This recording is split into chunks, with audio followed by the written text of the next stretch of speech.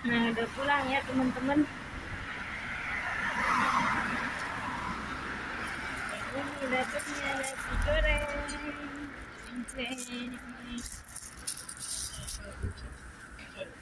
Ini juga ada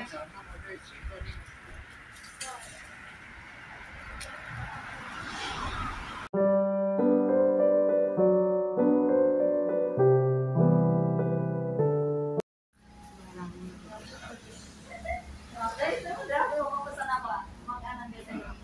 C, aku mau nasi goreng tapi nggak terlalu pedes, sedang aja pedesnya.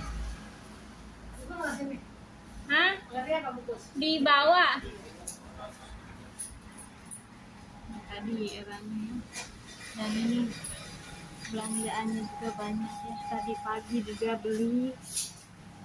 Ini juga beli ya. Nikmatin lah. Lagi masih bisa ya mumpung di rumah sakit. Tuh komplit ya kecantikan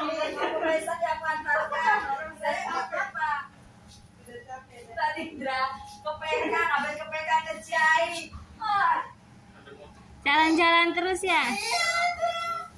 Nggak apa-apa lah libur.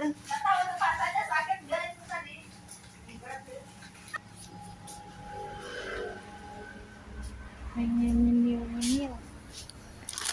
Assalamualaikum warahmatullahi wabarakatuh. Ini di warung Indo ya, tempat yang kedua ya teman-teman karena kan ada dua tempat. Ini pasnya sore hari ya, saya mau makan nasi goreng ya teman-teman. Dan ini dia ada semua ya perlengkapan buat hijab, baju, koper, kerupuk dan macam-macam ya teman-teman di sini banyak juga pengunjungnya ya. Dan di sini juga menyediakan makanan ya. Ada teh menunya itu fresh. Jadi satu order itu kerupuk-kerupuk di ini dan ini juga ada kerupuk ya. ada Indonya segala minuman ya, produk. Indo ada tempe ya. juga ya ada teh botol ada kalau las di segar sana itu juga ya teman-teman dan tepatnya di depan rumah sakit ya. dan ini saya lagi ya, nikmatin karena kan dadakan masaknya ya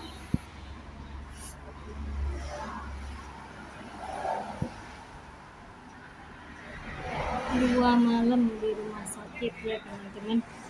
Dan saya mau nyapa-nyapa teman-teman. Assalamualaikum warahmatullahi wabarakatuh. Jumpa lagi di channelnya Yati Mariati.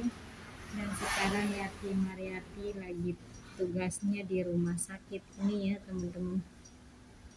Kakeknya mau dioperasi doain besok operasinya lancar kakeknya kuat dan sehat kembali ya teman-teman dan minta dukungannya ya teman-teman dengan like, komen, dan subscribe. Terima kasih. Lagi nunggu ya. Lagi dimasakin nasi goreng. Nasi goreng ala Indonesia. Nah, Besti bawa gembol-gembolan lagi Besti? Mau eh, nginep di hotel bintang 7 ya? Hotelnya para orang-orang sakit. Dan minta doanya ya teman-teman. Semoga kakek lancar dalam operasinya ya oke ikutin terus vlognya Yati Mariati di Taiwan ya teman-teman dan terima kasih